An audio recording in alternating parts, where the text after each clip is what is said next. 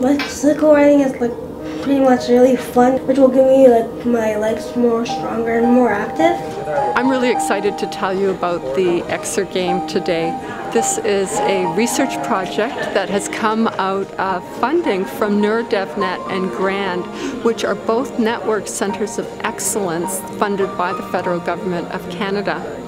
I'm a developmental pediatrician and a clinician researcher from Holland Bloorview and what I bring to the research project is a knowledge about uh, individuals with cerebral palsy. And then I'm working in partnership with Professor Nick Graham and his team from Queen's University. And what they bring to the mix are uh, computer gaming knowledge and computer science. We ourselves don't have any knowledge about, um, about cerebral palsy other than what we've learned through this project. And so being able to work together with a group that has this great depth of expertise in that area has been has been absolutely critical. So we've been working together over the last three years to develop the Exergame.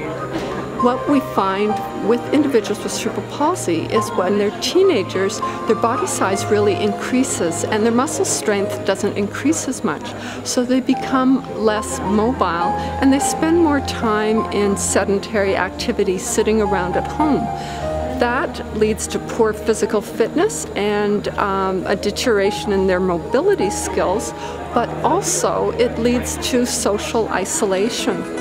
So our idea, we developed a stationary bicycle that uh, by pedaling the bicycle, it powers the computer game. We spent quite a bit of time refining the designs of the games, trying to find a way of making the games exciting and engaging and action-packed, and yet still something that um, children with cerebral palsy would be able to play. So you can see an avatar, and the more you pedal, the more power you have to play in the computer game. But we've made it even more fun than that. We can set up multiple bikes in multiple kids' homes who have cerebral palsy. They can go online in the Facebook, set up play dates, and play together. So in the computer game, you can see the other avatars of kids that are playing. What we've been interested in is trying to come up with games that have um, a vigorous form of activity. And so that's why we base the games around a cycling kind of activity.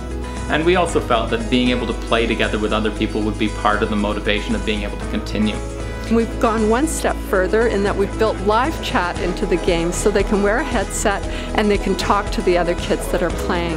Of the group of kids we were working with, initially only two of the eight kids were able to pedal a device at all. And by the end of the first year, um, through refining the physical hardware, the physical bicycle, we were up to seven of eight kids were able to cycle and to get their heart rates up into a moderately vigorous range, which would be associated with improvements in physical fitness. What we've shown in the research is that yes indeed we do have a increase in cardiovascular fitness. We really do drive their heart rate up and more importantly, perhaps, we're showing that the social connectedness is something that the teens really value, that they've made new friends and they feel less socially isolated. How, how did you think it helped? I like got looser sometimes. Uh -huh. Good. It was easier to walk. Our dream is to bring it forward and to bring this out into the real world so that it's not only kids who are involved in our research studies, but kids all over the world who can be cycling together, whether they have cerebral palsy, some other neurodevelopmental disorder, or uh, just that you want to play and have some exercise.